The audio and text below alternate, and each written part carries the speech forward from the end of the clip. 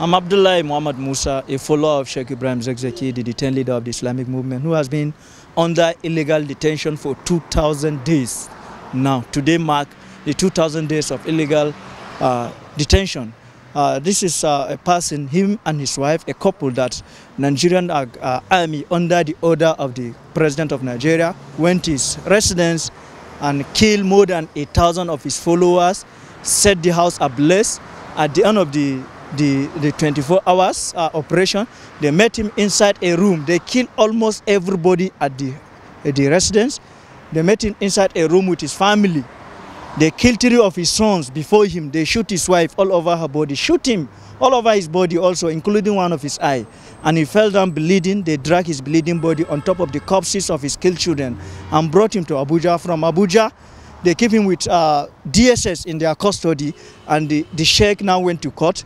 The court on the 2nd of December 2016 uh, under the Justice Gabriel Kolawole ordered the federal government to free the sheikh unconditionally and pay him a sum of 50 million naira for violating his fundamental right of living and also build a house for him or in any place of his own choice in Nigeria. The government refused. At the end of the, the from Abuja, they now move him to Kaduna and keep him in dilapidated prison. Despite this a gunshot in his body, they poisoned him within the, the, the, the, the facility of the DSS. They poisoned him using apple and other things.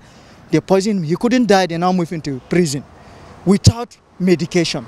For these 2,000 days, the Sheikh is in Kaduna prison, unhealthy prison without proper medication. That is why we are on the street today, calling on the government to obey the court that order for the freedom of the Sheikh and prosecute the perpetrators of killing innocent citizens of Nigeria. And we started a daily protest in Abuja on the 8th of August, uh, January 2018. They have been killing from that day to date. They have killed 78 followers of the Sheikh. Their only offense was coming to the street to call on the government to obey the court that order for the freedom of their leader unconditionally. Okay, have given us some, but some are still with them since July, the, the police. Since July 2nd, uh, 22nd July 2019, the attacked us at Federal Secretariat where they killed 14 uh, protesters, one police officer and one journalist from uh, uh, Channel Television. They went away with, with some people, that victims that they went and snatched them from teaching hospital in Gwagwalada. They keep them in SARS. These guys were receiving treatment in hospital and the police went and shot gun on air.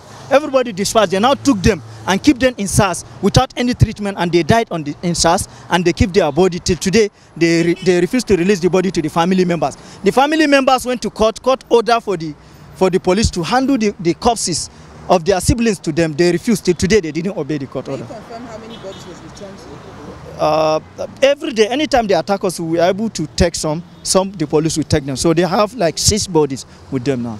And of recent, on the on the 27th, on 7th of May, 2021, they also arrest uh, Haruna. Till today, his whereabouts is no, nowhere to be found. The police are still denying. They arrested 63 people, including Yahuza Haruna. Yahuza Haruna, they beat, they beat him until he fell down and they, they took him away, whisked him away in one of their van.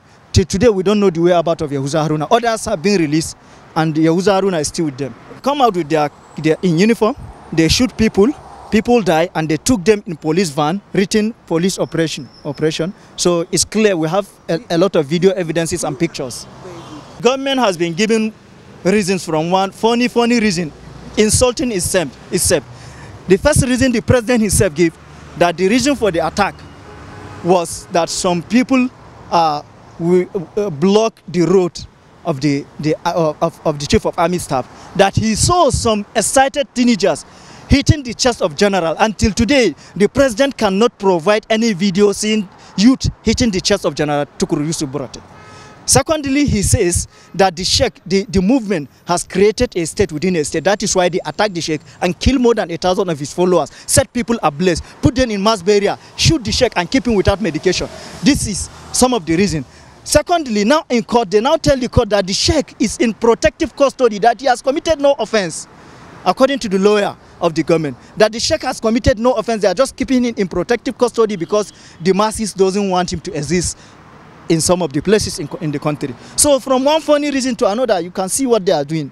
They, but what we come to conclude and what we see from reasonable uh, thought is that the government wants Sheikh Zakzaky dead. That is why they attack him. They went to his residence to kill him. They fell.